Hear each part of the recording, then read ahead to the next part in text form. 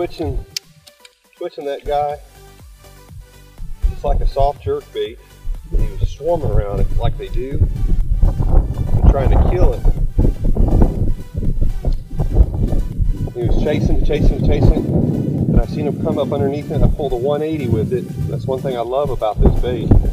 And just, he just annihilated it. Jumped right out of the water with it.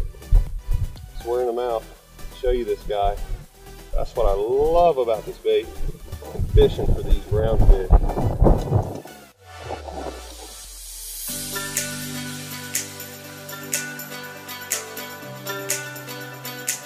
Beautiful.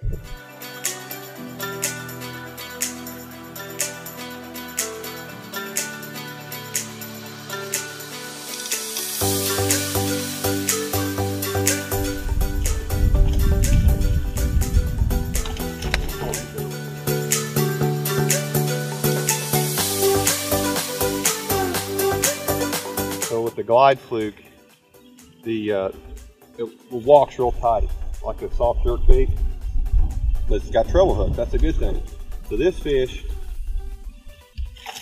you would have normally not even had a shot at. You know, they're swatting at it.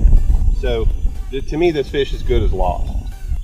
But we have a shot now. Uh, so if I lose this fish, no worries. But now at this point, if this was a tournament situation, I know I got a shot at something.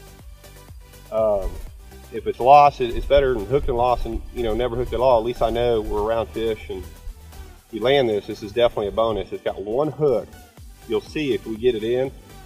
Barely, but this did its job to at least give me a shot on a normal day when you when you have those stories of woulda, coulda, shoulda. Well, now we have a shot at something. This is what the glide fluke does. At least gives you a shot when they're just slapping at it. Especially smallmouth, they're notorious for that. So we're just wearing them down, trying to keep them from jumping. Hoping maybe another hook gets into it. Looks like another hook did get into it.